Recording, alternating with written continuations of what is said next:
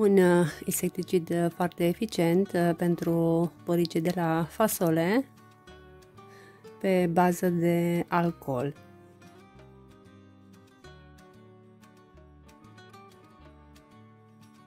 Proporția folosită este o parte alcool și 4-5 părți de apă.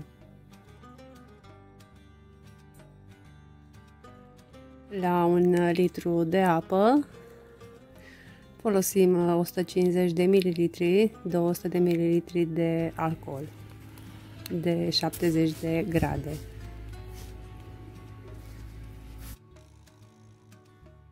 Se adaugă câteva linkuri de săpun uh, lichid, 2-3 sau uh, detergent de vase pentru ca soluția să se lipească mai bine de purici.